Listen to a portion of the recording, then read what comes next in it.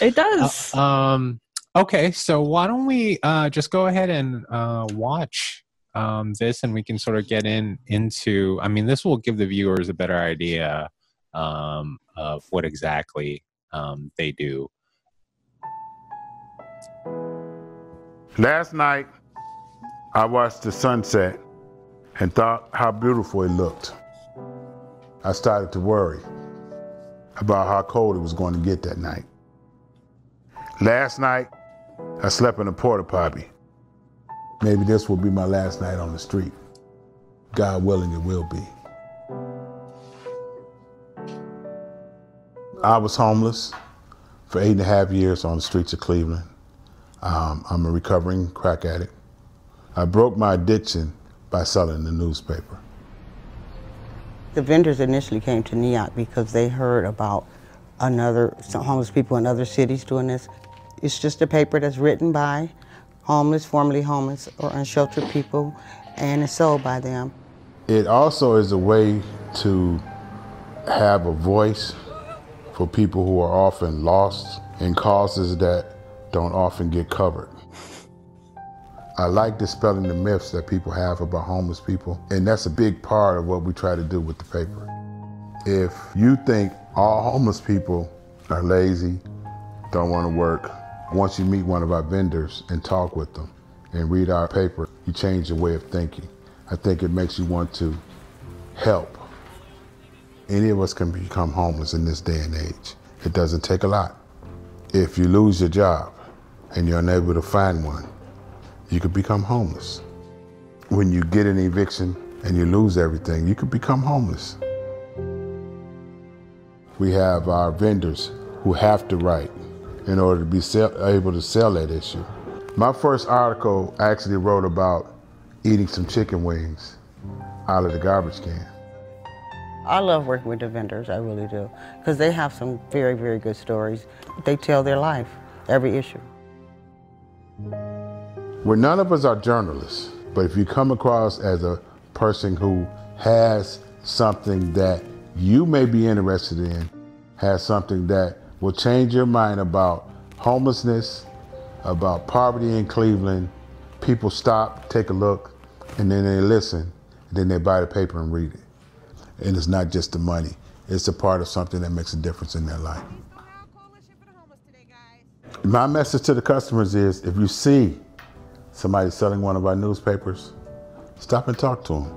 Even if you don't buy a paper, chances are they'll change your conception of what a homeless person is. You both will probably walk away a better person for it.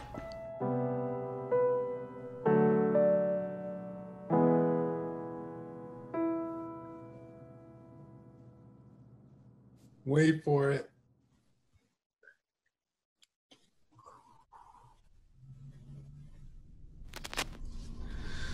All right. All right, and we're back. All right. So, um, yeah, you know, I, I guess what we can um, talk about uh, is a you know a little bit. So when I was approached, I'll, I'll share a little background um, just in terms of you know the the, the challenge. This so the challenge with the time constraint, right?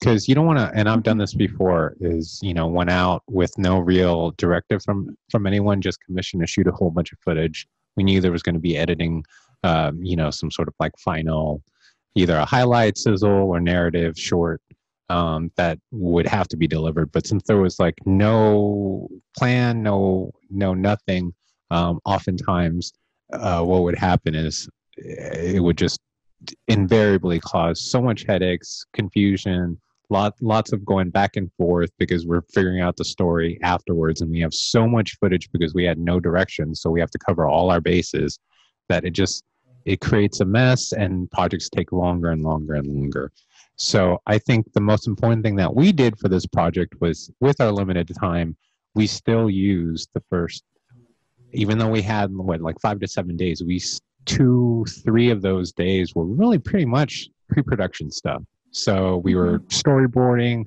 We we Sarah brought up the subject, so we got to um, do our research portion into it. Figured uh, what the most likely compelling narrative um, uh, we can come up with.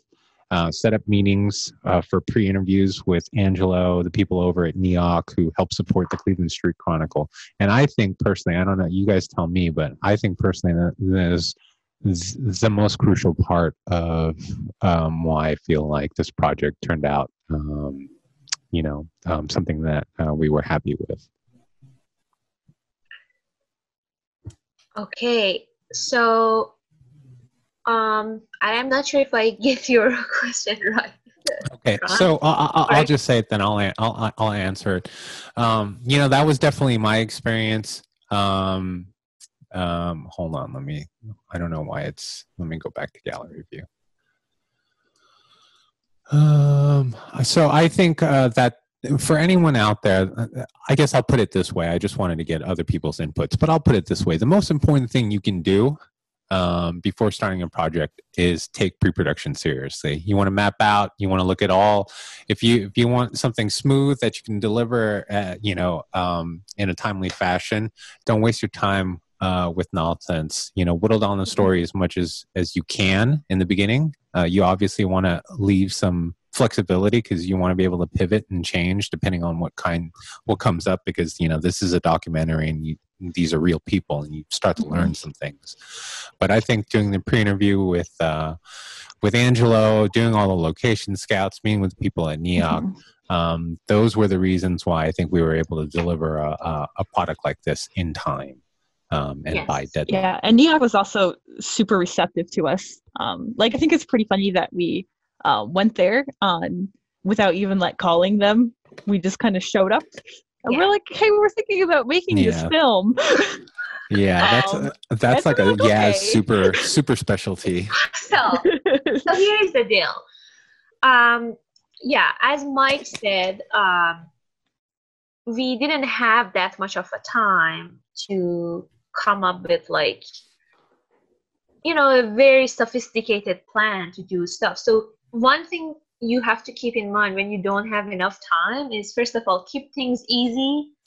Don't make things complex and like just go for it. Because if you mm. lose chance if you lose time on correspondence or if you want to like manage or schedule like meetings with people way beforehand it just like a lot of time going to be wasted.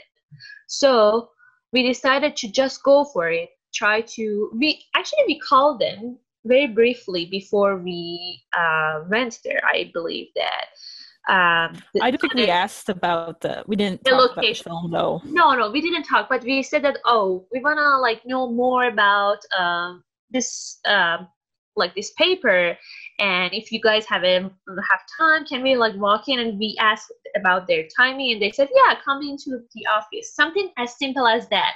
We didn't even get connected to the right person at, at the beginning but we just decided to go for it. And i remember it was three of us in the car and we were still like deciding whether we have to go to this location first or go to another potential location which was another church uh, that we we oh, wanted oh, not location but like subject matter. Yeah sub- subject oh, yeah. matter. Yeah because of the subject matter we want to like also there. But then we decided to go for it. And i pushed you guys that let's go let's go and uh, let's uh, initiate the talk with them and try to meet uh, the director over there and see if they can help us. And as sarah said we were and, and help us in a way of like giving us access because that was going to be the trickiest part with like the uh, the time limit right because yes. you have to work with other people's schedules as well um, so the people in neoch were just amazing um, to work with um, yeah. because they were super accommodating um, and just like kind and, and generous people with their mm-hmm. time Please feel free to like and subscribe. Ask these people. Yeah, hit yeah. that button. We want to hear from you. It's so easy. Mm-hmm. And you will not get disappointed. Yes. Please cut that last part.